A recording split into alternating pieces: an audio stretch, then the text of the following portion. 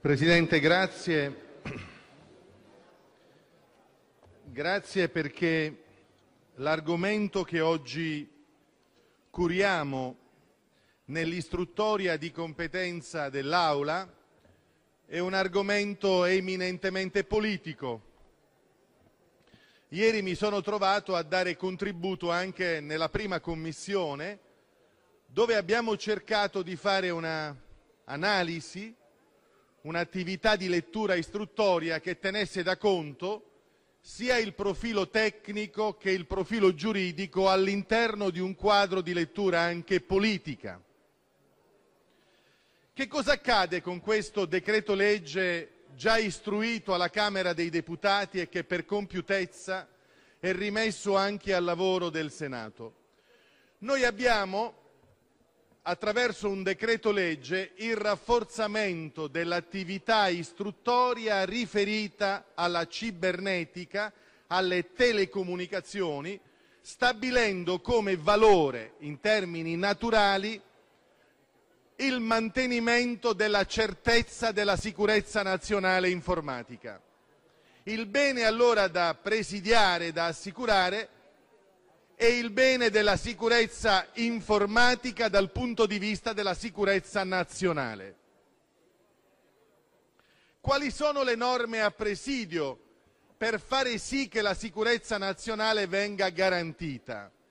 Intanto l'articolo 3 e l'articolo 24 del Trattato sul funzionamento dell'Europa, dove si configura un perimetro dello spazio nazionale superando la categoria del perimetro statuale nazionale.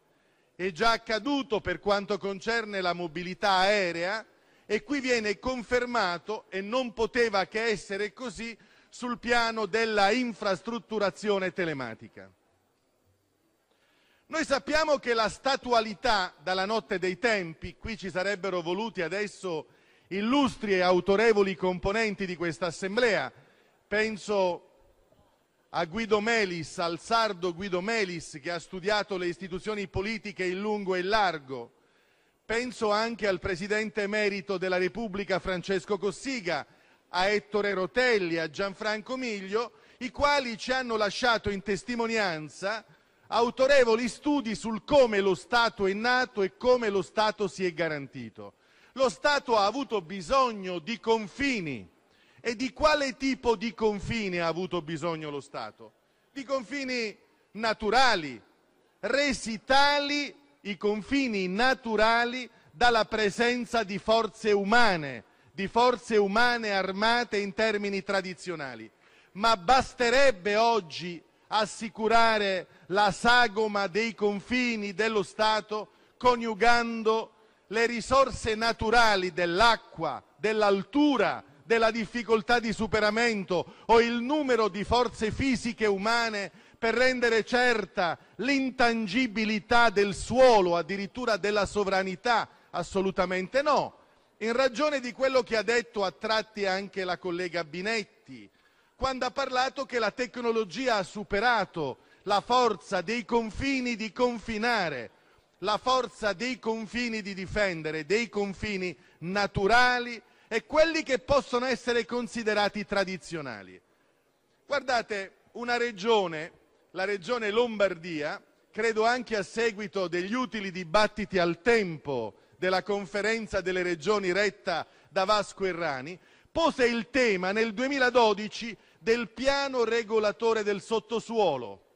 Era un piano regolatore che voleva fare ordine tra le reti che armano e arredano il sottosuolo, che conducono normali erogazioni di servizi tradizionali, acqua, elettricità e quant'altro serve alla civiltà e al funzionamento delle città. Ma basterebbe il piano regolatore del sottosuolo del 2012 della regione Lombardia per metterci al riparo da aggressioni, penetrazioni per via informatica e cibernetica? Assolutamente no. E allora il legislatore fa ricorso alla risorsa normativa.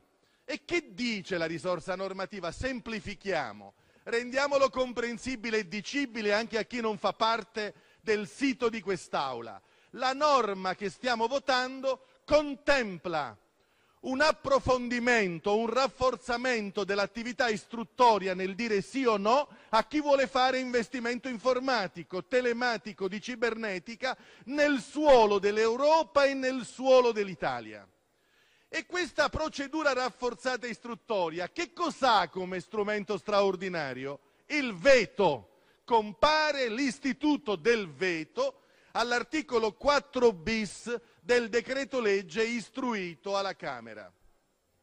Allora un luogo di dialogica politica, di dialogica parlamentare, si pone la domanda, è il caso di prevedere il veto come istituto per mettere al sicuro il confine nazionale dell'Europa rispetto agli investimenti della tecnologia? Certo che sì perché può accadere il contrario della crescita economica con un uso maldestro della tecnologia.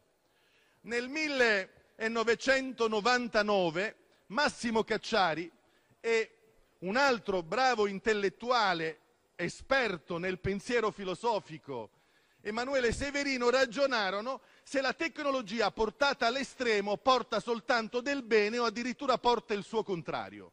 E Cacciari mi ricordo che mise con un ragionamento implacabile in evidenza che la tecnologia deve conoscere i limiti. E qui noi stabiliamo dei limiti laddove viene messa a rischio la sicurezza nazionale. E c'è un'altra domanda, chi è che stabilirà il limite, il veto, se è a rischio la sicurezza nazionale? Palazzo Chigi, la Presidenza del Consiglio dei Ministri, con una procedura che ha sia l'avvertimento del momento eccezionale.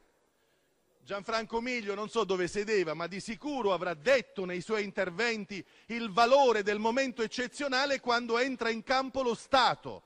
E il momento eccezionale di cui deve avere consapevolezza lo Stato, chi è che lo svela? Palazzo Chigi. E in base a quale legge? All'origine la legge 400 dell'88 che venne pensata da un altro senatore illustre, Andrea Manzella, che di sicuro frequenta e conosce il mio collega Zanda, e precisò Manzella nel riordino della Presidenza del Consiglio qual era il punto nevralgico dello Stato laddove c'è il rischio, il pericolo. Ma anche Cossiga fece una riflessione in caso di guerra dove si attiva l'avvertimento. E noi abbiamo una norma che razionalizza questo. Che può fare il Parlamento se è serio? Rispetto a questo, attivare sicurezza di informativa, consapevolezza nell'attivazione dell'informativa e c'è la commissione parlamentare competente viene informata ad un ritmo periodico ogni 30 giorni, così come c'è il comitato interministeriale per la sicurezza nazionale.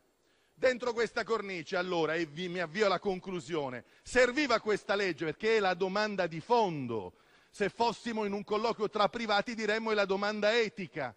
Serviva questa norma? Certo che sì. Serviva in questo momento? Certo che sì, perché ci sono operatori internazionali delle lontananze che possono mettere a rischio la sicurezza nazionale.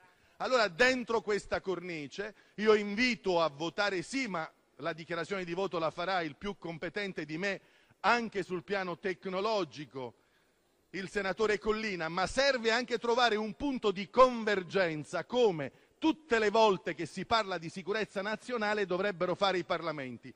Certo il muro di Berlino non ci avrebbe aiutato in questo caso a garantire la sicurezza nazionale.